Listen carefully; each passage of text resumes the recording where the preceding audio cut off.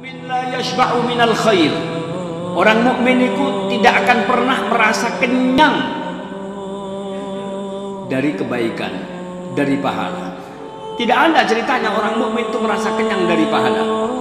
Hatta yakuna muntahahu al jannah sampai puncak daripada orang mukmin itu adalah surga yang akan dia disiapkan oleh Allah Subhanahu wa taala. Allahumma ja'alna minhum.